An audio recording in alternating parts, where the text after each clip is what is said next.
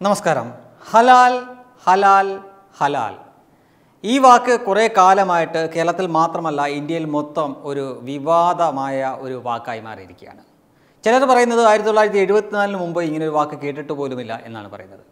ഈ അടുത്ത കാലത്തായിട്ട് നമ്മൾ നിരവധി വീഡിയോകൾ കണ്ടതാണ്. ഹലാൽ ഭക്ഷണം എന്ന പേരിൽ ഒരു കൂട്ടർ പറയുന്നു ഈ ഭക്ഷണത്തിൽ തുപ്പുന്നു എന്ന്.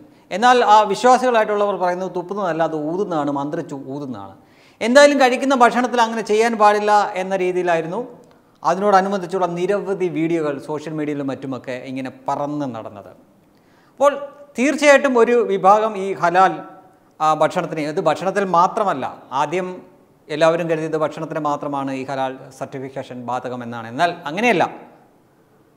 ചന്ദനത്തിൽ സോപ്പിലും ഒക്കെ വരെ നമ്മൾ ഈ ഹലാൽ സർട്ടിഫിക്കേഷൻ കണ്ടതാണ്. അങ്ങനെ വന്നപ്പോൾ തീർച്ചയായിട്ടും മറ്റുള്ളവർ ഈ ഹലാലിന് എതിരെ ഉറക്കെ തന്നെ സംസാരിക്കാൻ തുടങ്ങി. പക്ഷേ അപ്പോഴും ഇന്റർനാഷണൽ അന്താരാഷ്ട്ര മാനദണ്ഡങ്ങളൊക്കെ വെച്ചിട്ട് ഹലാൽ സർട്ടിഫിക്കേഷനുമായിട്ട് ഹിമാലയ പോലുള്ള വലിയ കമ്പനികൾ വരെ ആ മാനദണ്ഡം പാലിച്ചുകൊണ്ട് അവരുടെ സർട്ടിഫിക്കേഷനൊക്കെ അവർ പബ്ലിഷ് ചെയ്യാൻ തുടങ്ങി.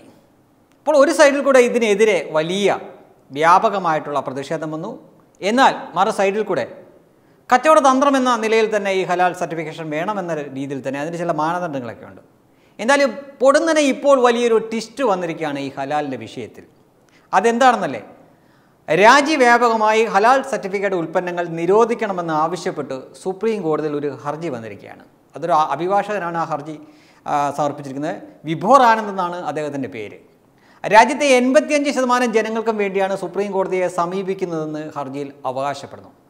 പതിനഞ്ച് ശതമാനം വരുന്ന മുസ്ലിങ്ങൾക്ക് വേണ്ടിയുള്ള ഹലാൽ സർട്ടിഫിക്കറ്റ് ഉൽപ്പന്നങ്ങൾ എൺപത്തിയഞ്ച് ശതമാനം ജനങ്ങൾ ഉപയോഗിക്കാൻ നിർബന്ധിതരാകുന്നുവെന്ന് ഹർജിയിൽ ആരോപിച്ചിട്ടുണ്ട്. മാത്രമല്ല ഇത് ഭരണഘടനയുടെ പതിനാല് ഇരുപത്തിയൊന്ന് അനുച്ഛേദങ്ങളുടെ ലംഘനമാണെന്നും ഹർജിയിൽ വിശദീകരിച്ചിട്ടുണ്ട്. ആയിരത്തി തൊള്ളായിരത്തി എഴുപത്തിനാല് മുമ്പ് ഹലാൽ സർട്ടിഫിക്കറ്റിനെ കുറിച്ച് കേട്ടിട്ടില്ല. ആയിരത്തി തൊള്ളായിരത്തി എഴുപത്തിനാല് മുതൽ ആയിരത്തി തൊള്ളായിരത്തി തൊണ്ണൂറ്റി മൂന്ന് വരെ മാംസ ഉൽപ്പന്നങ്ങൾക്ക് മാത്രമായിരുന്നു ഹലാൽ സർട്ടിഫിക്കറ്റ്. എന്നാൽ ഇന്ന് ടൂറിസം മെഡിക്കൽ ടൂറിസം മാധ്യമങ്ങൾ തുടങ്ങിയ വിവിധ മേഖലകളിലേക്ക് ഹലാൽ സർട്ടിഫിക്കറ്റ് വ്യാപിക്കുകയാണ്. ഇതൊക്കെയാണ് ഹർജിയിൽ ആരോപിച്ചിരിക്കുന്നത്. കൂടാതെ ആയിരത്തി തൊള്ളായിരത്തി എഴുപത്തിനാലിന് നൽകിയിട്ടുള്ള ഹലാൽ സർട്ടിഫിക്കറ്റുകൾ അസാധുവായി പ്രഖ്യാപിക്കണമെന്നും ബഹുരാഷ്ട്ര കമ്പനികളായ Nestle K F C Britannia എന്നിവയോട് ഹലാൽ സർട്ടിഫൈഡ് ഉൽപ്പന്നങ്ങൾ വിപണിയിൽ നിന്ന് പിൻവലിക്കാൻ നിർദ്ദേശിക്കണമെന്നും ഹർജിയിൽ ആവശ്യപ്പെട്ടിട്ടുണ്ട്.